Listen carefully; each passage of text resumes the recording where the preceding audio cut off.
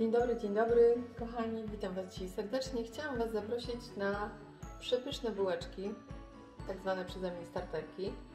E, można je wykorzystać na początek każdej imprezy, a żeby goście posilili się przed kolacją, e, na święta, na sylwestra, e, na dowolne okazje, jako małe przekąski również. Do miseczki wrzucamy rozdrobnione drożdże.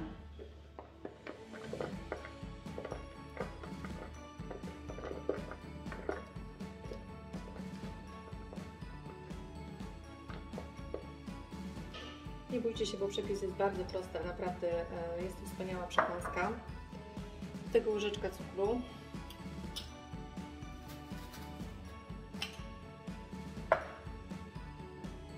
Letnia woda, tak maksymalnie do 30 stopni.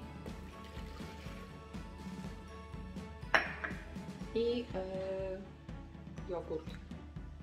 To jest opakowanie 400 gram, natomiast my będziemy potrzebowali 300 gram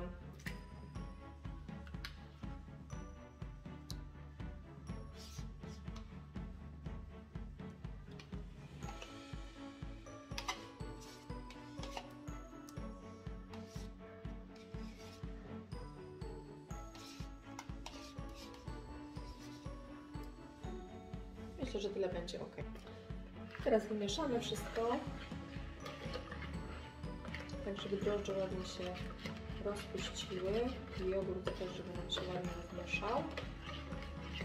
Dobrze, i teraz taki rozczyn zostawiamy w ciepłym miejscu pod, pod, przykrycie, pod przykryciem na około 15 minut. W międzyczasie e, do mąki dosypujemy łyżeczkę, e, półtora łyżeczki soli, jajeczko,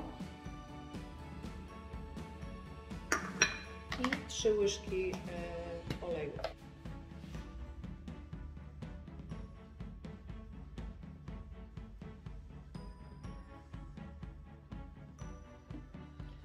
Dobrze kochani, jak widzicie pięknie nam już rozczyn urósł. Teraz przelewamy go do pozostałych składników i będziemy wyrabiać.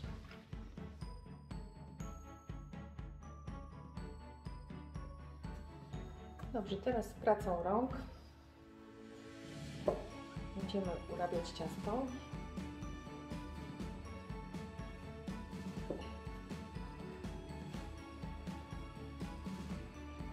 Praca rąk jest nieoceniona, składając dobrą energię.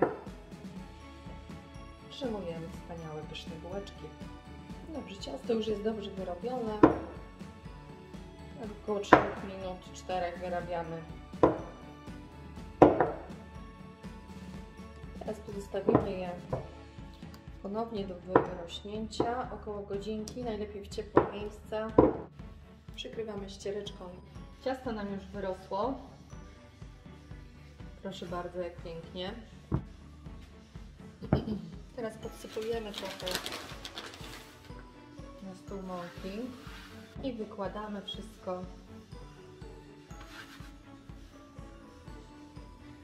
na blat. Takie bułeczki możecie wykorzystać na startera, goście przyjdą z domowej roboty z maloszkiem, powidełkami, z masełkiem. Dobrze. Teraz jeszcze chwilę je pourabiamy.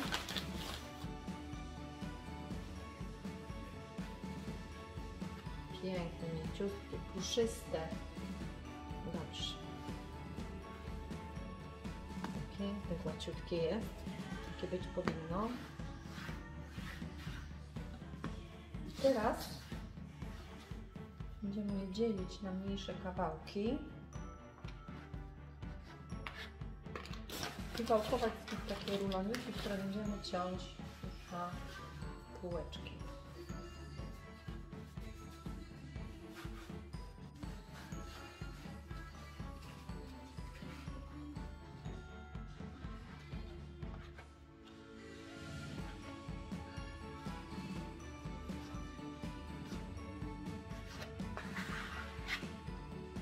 Dobrze, i teraz każdą z bułeczek będziemy tak do środka zagniatać i układać na blaszce.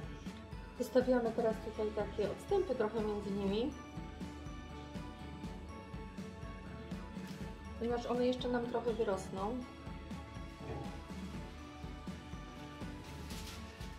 Jedna blaszka już e, gotowa.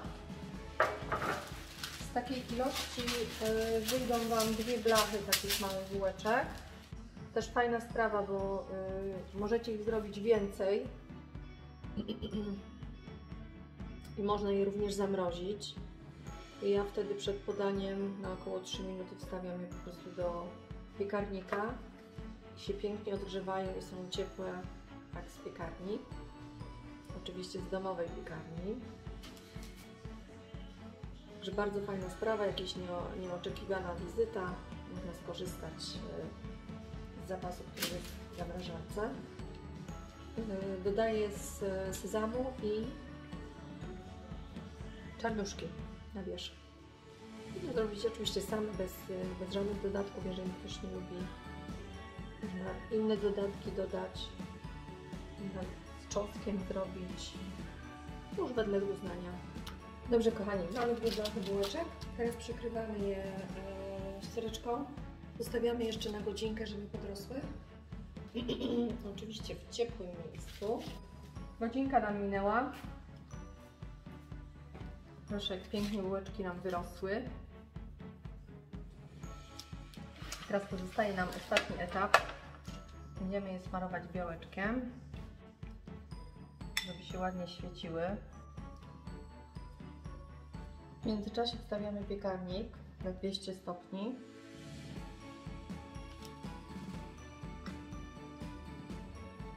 Dobrze, i teraz część będziemy robić z sezamem.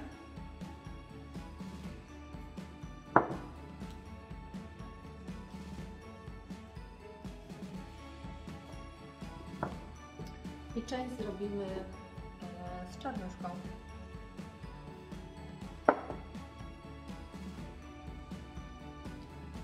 A część pozostawimy e, takiej bez niczego.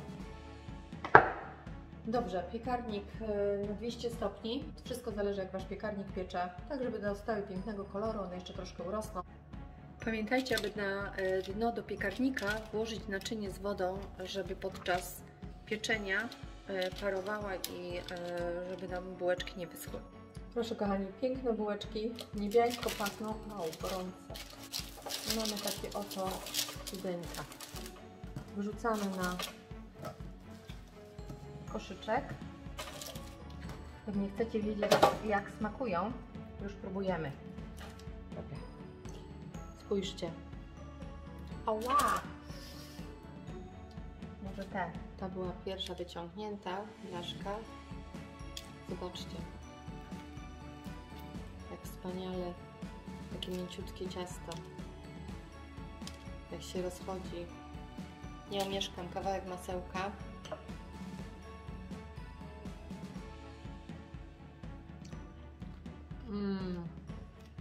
Pychota.